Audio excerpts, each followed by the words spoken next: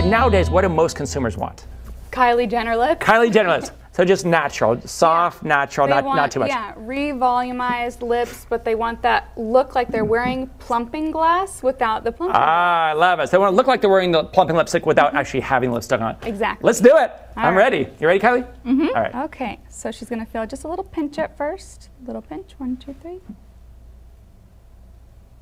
And do we typically use one syringe of product for this or half a syringe? Or? Um, it's all customized to the individual, so you can use a half a syringe if you just want something, just a tiny little dollop. But Uh-huh. if you want to revolumize or to do something like a Kylie Jenner lip, you're gonna need probably one to two syringes for that.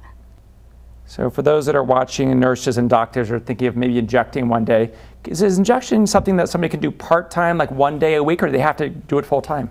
Um, you can do it part time, full time. We have a lot of people who are um, nurses and doctors that are already working in hospitals and private practices that want to add to their practice, or nurses that are working in hospitals that want to kind of do something that's a little bit more flexible with their schedule so they don't have to work a 12 hour shift. Yeah, and be on call at 3 in the morning and weekends and nights, so better hours in cosmetic medicine, huh? Exactly. I know a lot of doctors get in this business mainly because of insurance. They bill a thousand bucks for insurance. They collect 300. They're not getting reimbursed. So this is a cash business. They don't have to worry about the insurance hassles.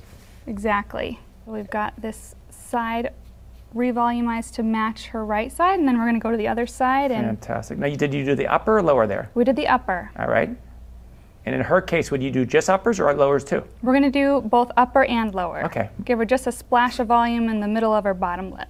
And I know we're using a product called Juvederm here. Is that correct? That's Part of the correct. Allergan family. And there's competitors out there. Competitors, is it Restylane's the main competitor out there? Mm-hmm. Pretty similar products or?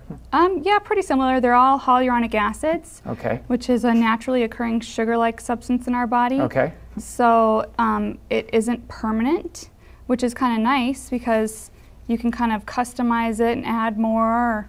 So how long does it last? You say it isn't permanent. How long does it last? In the lips, because we move our mouth so much when uh-huh. we're talking, usually about four to six months.